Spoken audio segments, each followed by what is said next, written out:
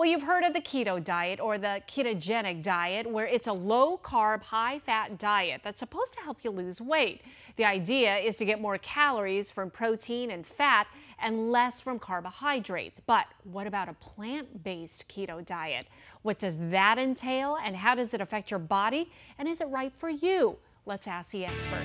Joining me now is Dr. Natasha Bhuyan, National Medical Director of One Medical. All right, this is fascinating yes. to me mm -hmm. for someone who does not know much about the plant-based keto diet. Explain what it is. Well, this is a popular twist on the vegan, you know, the typical keto diet. It's yeah. a vegan twist on that. So essentially, rather than getting a majority of the food sources from animals, people are getting a majority of their food sources from plant-based foods. Mm -hmm. Now, here's why it's tricky. So with the keto diet, there's a misconception that a lot of people just eat lots of animals and bacon yes. and butter. And then with the vegan diet, there's a misconception that people who are vegan eat a lot of starch. Right. And you know, when you think about crossing those two diets, it feels like so opposite. there's nothing in common. yes. And so this is where there is some commonality. You know, the, the heart of it is the keto diet is mostly actually healthy fats. And so okay. it's really a matter of coming up with where can we get healthy fats that are derived from plant-based products mm -hmm. rather than just animals. Now, here's kind of the rules of the diet. Okay. One of the rules is that 70% of the calories that you consume should be from fats. Mm. The other rule is around 25% of what you consume should be from proteins. Okay. And here's the really tough part. Yeah. Less than 5% of the calories that you consume should be from carbs. Ooh. And the reason why is if you maintain really, really low carbs,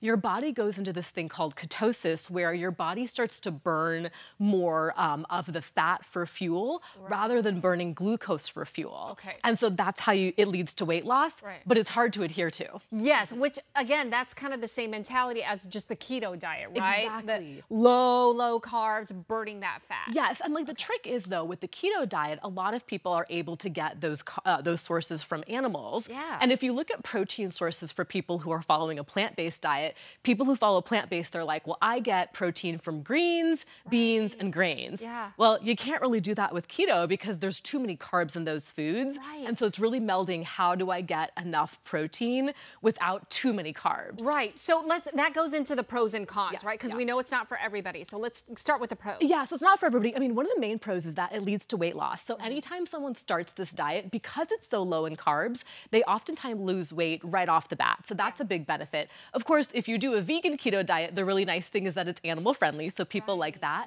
And then we also know a lot of plant-based diets have great impacts on chronic conditions. Yeah. Decrease heart disease, decrease diabetes, decrease high blood pressure. So we see that with basic vegan diets and mm -hmm. plant-based diets. There's not a lot of research specifically on vegan keto diets, but there is some research emerging. Okay. That being said, there are some cons yeah. as well. I think one of the biggest cons is that it takes a lot of planning, like thinking yeah. about what you need to eat, what follows the rules, what's low in carb. That takes a lot of planning ahead of time. You know, the other tough thing is that it does lead to nutritional deficiencies. When people eat this diet, they can't get enough vitamin D from foods. They have to take a supplement.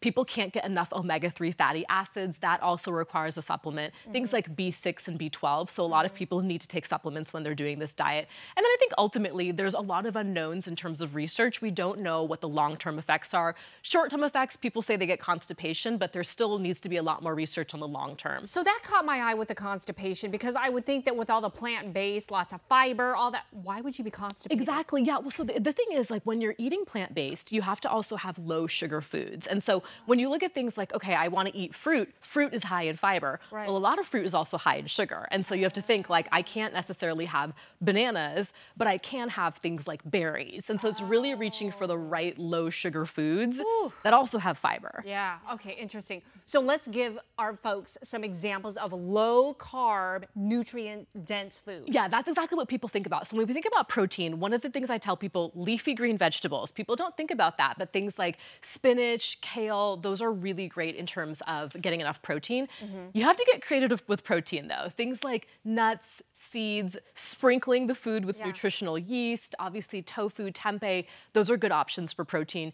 Spirulina is also a nice option. Oh. So it's similar to seaweed. Okay. It has an interesting taste. Yeah. It's an acquired taste, but it is really nutrient dense. Okay. And then like I mentioned before, the low sugar things um, like berries, low sugar fruits. Right. And then here's the kicker, healthy fats. Yes. So searching for healthy fats, that might be, you know, full fat coconut. It might be things, um, you know, like avocados, Avocado, yeah. like olive oil. So mm-hmm. it really takes a matter of planning because, you know, one thing fits the rule, it fits one rule, but it doesn't fit the other rule. Mm, interesting. Okay, we could go on and on about this. So interesting. All right, now it's